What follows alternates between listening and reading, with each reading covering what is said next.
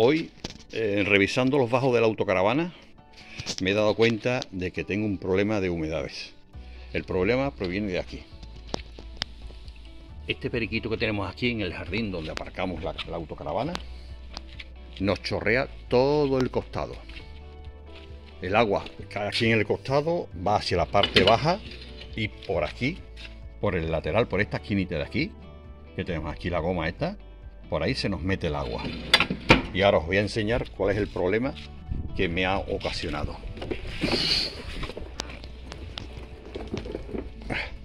Ahí lo tenéis. Como veis, eh, el suelo de cualquier autocaravana es un sándwich que tiene por este lado, para la parte inferior, un pequeño panel muy endeblito, por cierto. Después tiene polispan y la parte de arriba tiene otro panel y después el cintasol, que es el suelo eh, bonito que nosotros vemos. Esto, mm, ¿qué solución le podemos dar a esto? Pues esto mm, yo ya he solucionado otras veces cosas parecidas a esta y lo que, lo que he hecho es lo siguiente. Me he comprado un trozo de aluminio, un panel de aluminio, lo he cortado, como veis. Ahora untaré eh, Sikafle y pegaré esto en la parte inferior. Así como veis, ¿de acuerdo? Con esto eh, vuelve a quedarse estanco. Ya aquí no entra el agua, si entra por aquí por el láter, por aquí por donde tengo el dedo, el pulgar, no va a entrar porque va a haber cicaflé, el agua va a correr por aquí, por, por la chapa de aluminio y caerá al suelo. ¿De acuerdo? Eh, posteriormente, una vez que peguemos esto con el cicaflé, le damos un par de manos de pintura de clorocaucho, como el resto de la caravana. Aquí podéis ver ustedes el resto de mi autocaravana. Está toda perfecta, toda saneada por todos lados. Este es el suelo. Pero la verdad, me quedaba este rinconcito que aquí lo que tengo yo es, os lo enseño desde fuera. Aquí lo que tengo es un cofre y este cofre que está en el lateral de la autocaravana, ¿sabes? Como no lo había movido, no me había dado cuenta del problema que teníamos, que teníamos ahí. Vamos a poner aquí la chapa que hemos preparado de aluminio para solucionar este problema. Algo que ningún caravanista quiere ver en su autocaravana.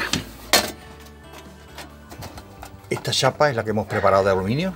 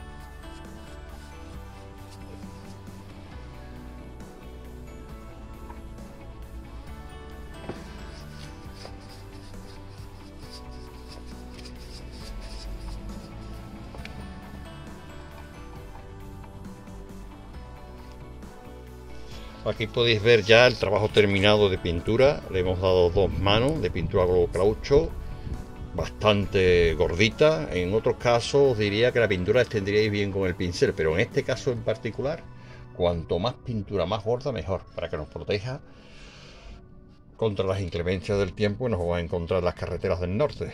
Tened en cuenta que en esas carreteras nos echan sal para que no cuaje el hielo. Y eso Mm, a los bajos le hace muchísimo daño. Ya le hemos pegado un repaso también al resto de la del resto del suelo, ya teníamos pintura de sobra y ya le hemos pegado un repaso a todos a todos los bajos, a todos. Estaban pintados, pero una mano más no, no importa. Ya podemos estar tranquilos durante bastante tiempo de que no vamos a tener ningún tipo de problema. Aquí podéis ver que ya está todo, todo pintado. Y ya os digo, cuanto más pintura, más gorda, mejor que mejor en este caso. Para que cree una buena capa aislante.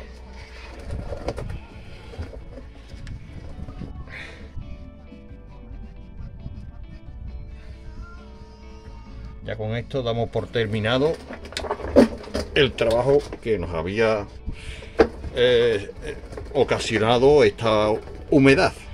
Y gracias a ella, pues ya le hemos pegado un repaso a todo el suelo de la caravana.